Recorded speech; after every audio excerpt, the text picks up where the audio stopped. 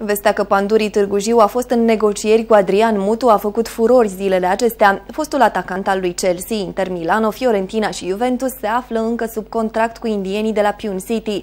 Mai multe echipe din Liga 1 și-au arătat interesul pentru a-l aduce din nou pe Mutu în fotbalul românesc.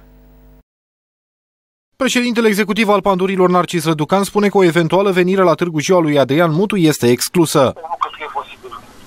Are contract și eu n-am discutat niciodată cu Adi Mutu pentru eventuală venire la Târgu Jiu. Nici antrenorul Edi Iordănescu nu crede că briliantul ar putea ajunge să joace pentru Pandurii Târgu Jiu. Deocamdată nu am primit niciun telefon sau vreun mesaj de la Adrian Mutu, deci nu pot să declar nimic. Oricum, cred că Mutu are suficientă valoare pentru a intra în vederile echipei naționale, nu neapărat de la Pandurii, a spus Iordănescu pentru presa centrală. În următoarea etapă, Pandurii se deplasează la București pentru o confruntare cu Dinamo. În prezent, Gorjeni ocupă locul 3 în clasamentul Ligii 1.